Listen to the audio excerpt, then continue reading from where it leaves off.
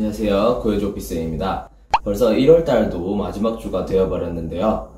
정말 정신없이 흘러갔는데 정신없는 와중에도 역시 우리 구독자분들과 투자자분들의 움직임은 점점 빨라지고 있는 것 같습니다. 오늘도 역시나 부산에 대한 이야기입니다.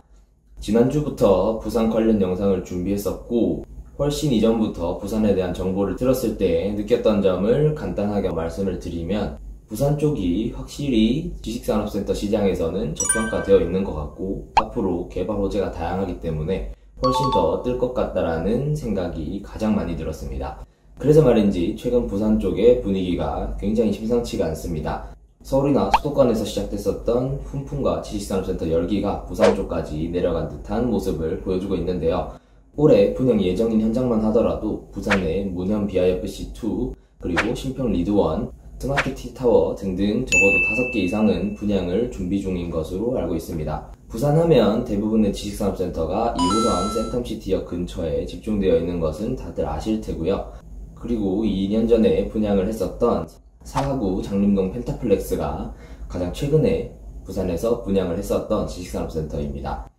서울이나 수도권이 한창 뜨거워지는 시기와 동시에 부산에서는 펜타플렉스가 성공적으로 분양을 하게 되면서 수도권이나 뭐 다른 지역에 있는 사람들까지 부산에도 지식산업센터가 있다고? 어디? 이런 식으로 궁금해하시는 분들이 점차 늘어났던 것이 사실입니다.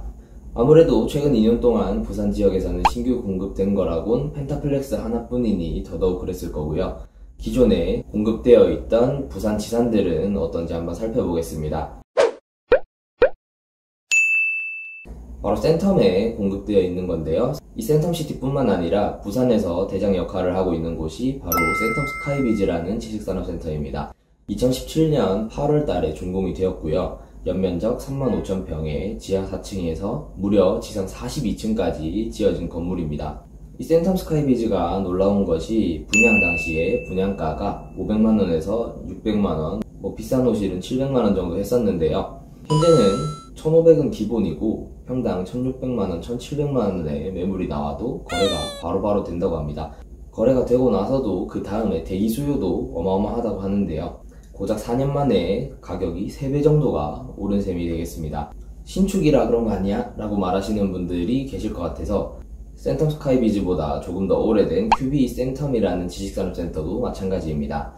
QBE 센텀은 2013년에 준공이 되었고요. 연면적 18,000평짜리 지식산업 센터입니다.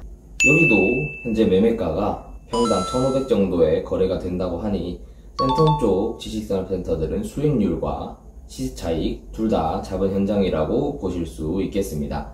센텀시티에서 성공적으로 분양을 하고 자리도 딱 잡았기 때문에 아무래도 부산 쪽으로 시선을 많이 돌리시는 것 같은데요.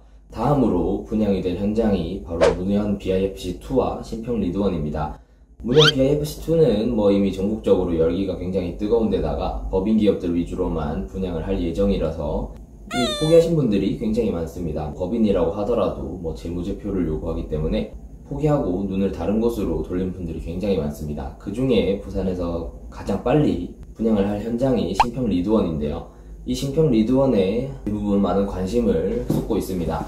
아무래도 도보 8분 정도 역세권인데다가 1분 시공사가 건설을 예정이고 연면적도 3만 5천 평 이상의 지상 28층까지 들어선다고 하니 당연히 관심이 갈 수밖에 없을 것 같습니다.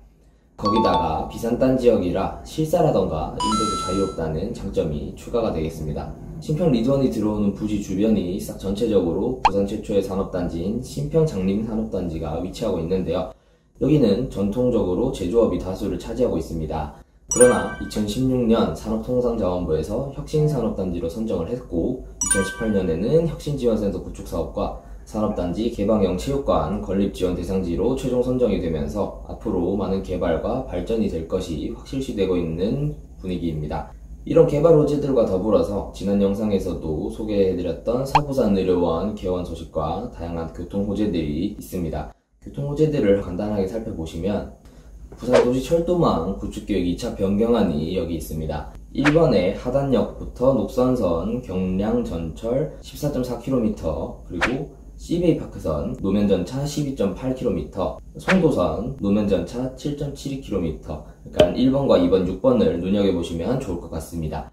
이것들이 지도에 보시면 이렇게 표시가 되어 있는데요. 하단과 장림 이 사이에 위치해 있는 신평 리드원이 굉장히 좋은 수혜를 많이 받지 않을까라는 짐작을 할 수 있습니다. 이런 것들을 보시면 확실히 지금 신평 리드원이 다른 지역에 비해서 분양가가 저렴하기 때문에 수익률과 시세 차이 두 개 다 누릴 수 있는 현장이 되지 않을까라고 예상을 하고 있습니다. 오늘은 부산의 분위기를 살짝 말씀을 드렸습니다. 아무래도 요즘은 수도권보다 지방으로 눈을 돌리고 계시는 분들이 굉장히 많기 때문에 그분들에게는 또 하나의 선택지가 될 수 있을 것 같다라는 생각이 많이 들고요. 이 부산 쪽에 대해서 더 자세한 정보를 얻고 싶으시거나 상담을 원하시는 분들은 저희 구해줘 오피스 대표 번호로 연락을 주시면 언제든 친절하게 상담을 해드릴 수 있도록 하겠습니다. 감사합니다. 지금까지 구해줘 오피스의 김태균이었습니다.